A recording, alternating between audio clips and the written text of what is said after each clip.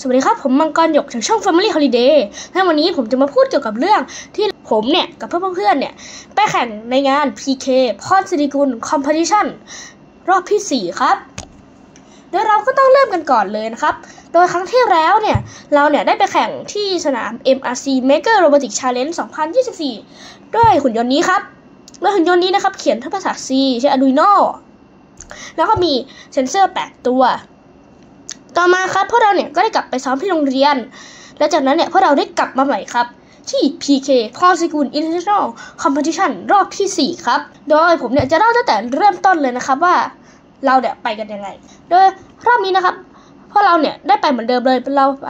กับขจรเกียรติพัฒนาครับ หรือว่าไปกับโรงเรียนของผมนั่นเอง โดยเริ่มจากตอนแรก ตอนประมาณ 7โมง6นาทีนะครับผมได้ขึ้นรถนะครับเพื่อที่ผมเนี่ยจะไปที่ตรัง เพราะว่าพอสิกุลของคอมเพติชันนี้เนี่ยจะจัดที่ตรังนั่นเองครับ ต่อไปเนี่ยนี่คือบรรยากาศของบนรถตู้นะครับ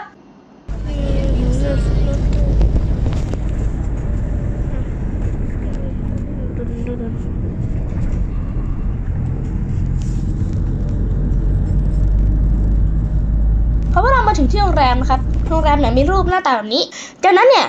ในวันนั้นเนี่ยเราก็เลยทำการไปดูสนามก่อนครับ โดยในวันนั้นเนี่ยมีการซ้อมของรายการหนึ่งครับนั่นคือรายการ Gathering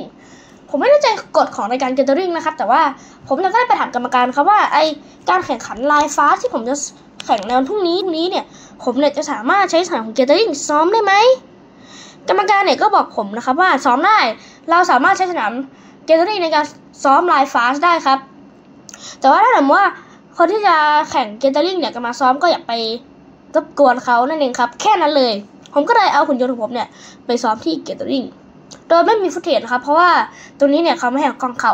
ต่อไปนะครับ ผมขอพูดก่อนนะครับว่าโค้ดผมใช้ยังไงด้วยหุ่นตอนนี้นะครับ ใช้ภาษา C และก็ใช้โปรแกรม Arduino ในการเขียนครับ ผมใช้ Arduino Stable หรือเวอร์ชัน1นั่นเองครับ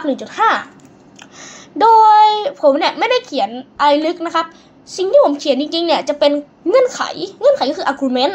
if else else if แล้วก็ set kp kd ki นะครับ หรือว่าเราจะเรียก 3 ตัวนี้ว่า pid kp คือค่าค่าการเหวี่ยงครับ หากคุณยนต์หลุดจากเส้น kp จะเหวี่ยงคุณยนต์ยังไงก็ได้ ให้กลับมาสู่เส้นที่เดิม KD ถ้าสมมติว่ายิ่งสูงเนี่ยมันจะทำให้ลดค่าการแกว่งนะครับ ไม่ใช่การเหวี่ยงการแกว่ง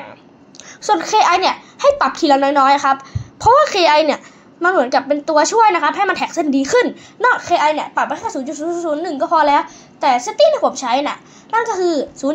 0.0001 6 50 นะครับ ตอนที่ผมเนี่ยไปแข่ง โดยต่อไปนะครับ พวกเราคุณครูเนี่ยก็ได้เขียนโค้ดไว้ให้ผมเรียบร้อยแล้ว สิ่งที่ผมต้องการเขียนเนี่ยคือ tag PID KP KD KI ความเร็วก็คือ set base speed แล้วก็มี track time track time ก็แค่ใช้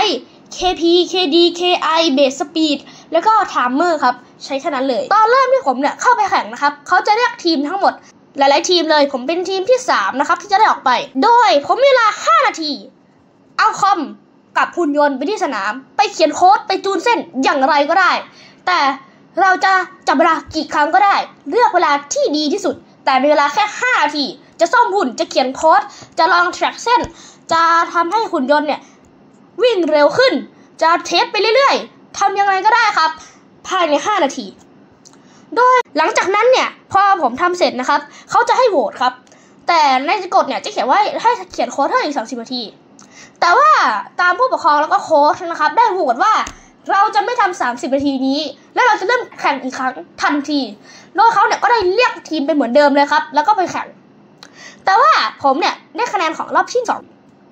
แต่ผมไม่ได้คะแนนของรอบที่หนึ่งครับ โดยรอบที่หนึ่งเนี่ยไม่มีคลิปให้ดูนะครับ แต่รอบสองมีคลิปให้ดู ผมเนี่ยได้เวลารอบที่สองตอนสุดท้ายเลยครับ ก็คือตอนที่เพราะตอนแรกรอบที่สองเนี่ยที่ผมไปตอนนี้เนี่ยมันจะจบเส้นแล้ว แต่ว่าผมฉลาดมาก ผมก็แค่ดึงออกจากเส้นเลย แต่ว่าผมเนี่ยก็ลองเขียนโค้ดฟุบแล้วก็หุ่นยนต์ฟลุกครับได้เวลาที่ 8.40 แล้วก็เหลือแค่การประกาศแล้วครับ และนี่คือทั้งหมดคลิปนี้ครับ ถ้าคุณชอบอย่าลืมกดไลค์ กดแชร์ กด subscribe ด้วยนะครับ และในวันนี้ผมขอตัวลาไปก่อน สวัสดีครับ